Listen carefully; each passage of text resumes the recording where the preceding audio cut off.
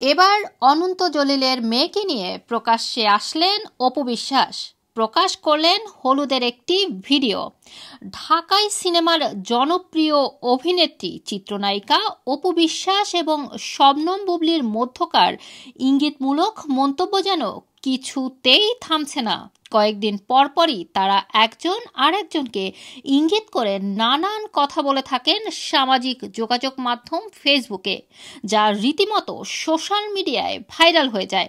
সম্প্রতি আবারও একই ঘটনা ঘটল। কিন্তু এবার ভিন্ন বিষয়। প্রযোজক এবং অভিনেতা অনন্ত জলিলের স্ত্রী অভিনেত্রী বর্ষার ফেসবুক পোস্ট নিয়েই এবার খোঁচাখুচি শুরু। রোববার পাঁচ মার্চ, অপু বিশ্বাসের ছেলে আব্রাহাম খান জয়ের সঙ্গে ভিডিও কলে কথা বলেন ঢালিউড সুপারস্টার সাকিব খান। ছেলের সঙ্গে বাবার কথোপকথনে সেই ভিডিওর দৃশ্য ফেসবুকে শেয়ার করেন নায়ক, যা পরবর্তীতে নিজের টাইমলাইনে শেয়ার করেন বুবলি। এর ঘণ্টাখানেক পর সাকিবের দ্বিতীয় ছেলে শেজাদ খান বীরের সঙ্গে তার মা বুবলির একটি ছবি পোস্ট করেন বর্ষা।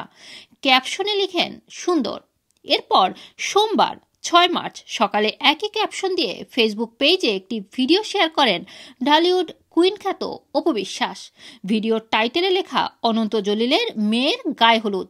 ওপর শেয়ার করা ভিডিওটি মুহূর্তেই নজর কাড়ে নেটিজনদের। একই সঙ্গে প্রশ্ন জাগে, তাহলে কি আরও একটি বিয়ে করেছিলেন অনন্ত জলিল? তবে এ বিষয়ে দিনদা দের অভিনেতা কিংবা তার স্ত্রী বর্ষা কোনো মন্তব্য করতে পারেননি।